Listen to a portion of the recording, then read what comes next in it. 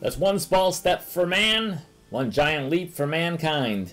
This is the creator set, the Lunar Lander, and this thing is awesome. It's only 1,087 pieces, but the detail on this thing is amazing.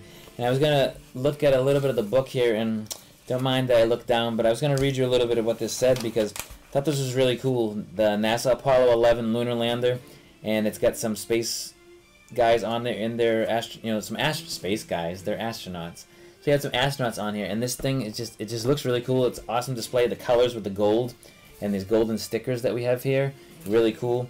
So this was something that happened way back in what was that? Was it the late '60s, possibly? The race to the moon, they called it. Humanity's sense of wonder, fascination, awe of space.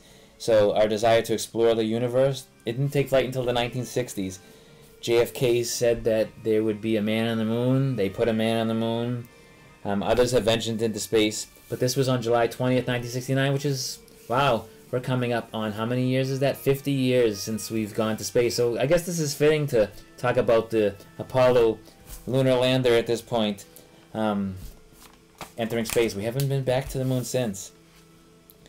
So here's some funny stuff I saw in here. Did you know? These little facts in this book. And some really cool facts in this book is it says, Did you know it was a lingerie manufacturer who won the contract to develop the spacesuits worn by the crew of Apollo 11?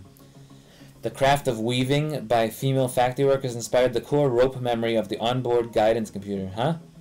I don't know what that means. And liftoff. So, some really cool stories about this. We got some really weird music playing in the background here. I asked for some space music and getting some space music, I suppose. But yeah, we're coming up on 50 years of this. Okay, Google, stop. A little quiet here. There were some key moments. I'm just going to read a few of these, and this is almost like a little history lesson, a space lesson, if you if you will. July 16th. Um, that's next. What is that? Next Tuesday. Apollo 11, the first manned spaceflight to land on the moon, launched into space. July 17th, 1969, astronaut Neil Armstrong, Michael Collins, and Buzz Aldrin made their first TV transmission to Earth from space. That's pretty cool.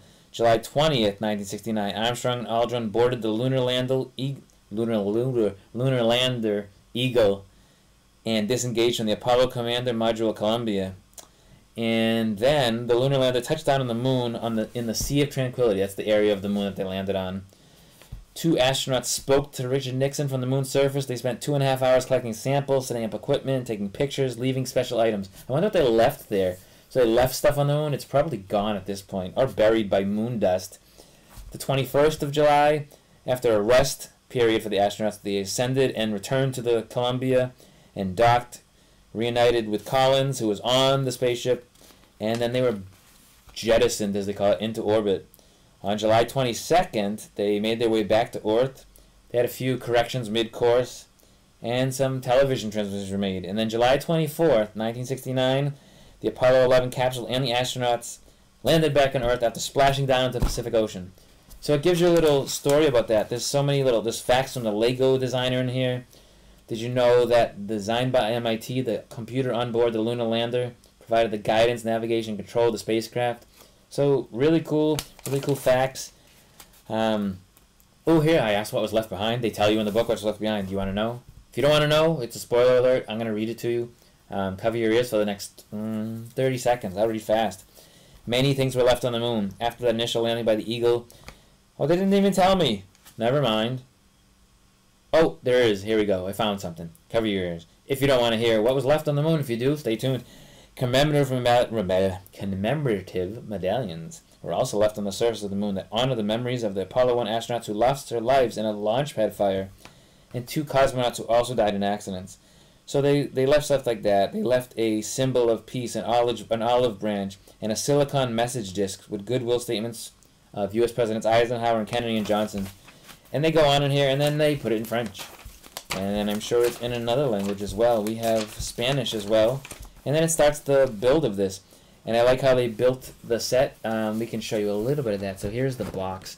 And we'll flip it around to the front. You can see the astronauts there climbing into the lunar lander. You have the flag on the moon there, and you can see the Earth in the background. That's really cool. Um, really cool scene. We don't get the Earth to build on there. We're on Earth. we don't get that setup of that display. You could make a little backdrop yourself, I suppose. Maybe put it in one of my cubbies back here, you know, black background, put a little printout of the moon, and put this on there. Or take some of those Lego land, those Lego base plates, the old moon base plates. Those would be perfect for this. It does let you build one. So there's a brick built base plate for this. Not shown on the front. It is shown on the back. If you didn't see it there, you can see that they made a little crater there. I guess that's in the Sea of, sea of Tranquility there. So you're building a brick built one, or you could substitute it, put it on one of those old base plates. Sorry for that glare. I gotta fix this camera. I'm trying some new things, playing with the studio, so don't mind the lighting. Don't mind me blabbing over here. But I thought this was a really cool set, and it did come, if you didn't see this, I'm hiding behind this little thing behind here, but I'm going to bring myself up there. And you can see that it came with this little patch. So you have the Apollo Lunar Lander patch here. And these come in the set if you spent a certain dollar amount. I think they're gone now. But a patch, although they might still be on Lego's website. Don't quote me on that. But really cool that it came with this. You could frame this, hang it up somewhere, put it in your setup somewhere. Just a little commemorative patch that's probably some people will collect it and will be hard to find someday. I think I have two of them because I put a bunch of things at the same at two different shipments, so I got two of them because I believe it was a ninety nine dollar purchase. Don't think they had any have them anymore though. This was the. I'm gonna show you this. There's the book. I got that upside down for you. No, yeah, we got that upside down. Here we go. I don't know which way to hold this thing. There we go, the Lena book. There's the stickers. Some very silvery stickers, gold stickers there on this silver background. I'm to bring that down a little bit. Bring this one up. we go. We're going to switch these around on the fly. And then I can show you, you know, I can... There we go. I'm back to there I wanted to be. Bring this up a little bit. This is called on the fly camera fixing because I'm by myself and doing this and trying to move between cameras. I have three cameras down here. Pretty tricky. But when I, enough about cameras. This is really cool. The Apollo Lunar Lander.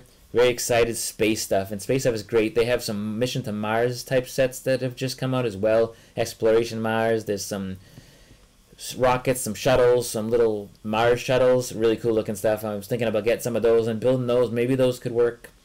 You have the moon, and then we can do some Mars stuff. Obviously, they're kind of far apart, but they're all space, so they could be all together in some nice little space layout. The old space stuff had blue and yellow, a lot of blue and yellow, and maybe that's what they thought um, color-wise they would use for ships, but nothing ever was blue and yellow. So I always these whites and grays and gold foil, and I'm not sure why there's gold colors in it and silver reflecting the sun. Maybe maybe it's something to do with absorbing the sun. Not sure. But this is a fun set that I'm looking forward to building, and maybe we'll do a little speed build on this or a time lapse, and you can see it go together. And I'll do a little space diorama for it. That would be fun. Thanks for watching. Don't forget, check me out on YouTube and Facebook and Twitter and something else, Instagram at Built from Bricks, as well as a monthly or it may be semi-monthly live stream. I'm thinking about doing some changes, talking to more people, more interviews, some pretty cool stuff. Thanks for watching. What have you built today?